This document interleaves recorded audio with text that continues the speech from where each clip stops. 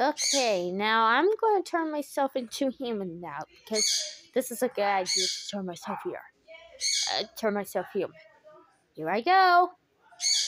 Uh, uh, oh, that felt good.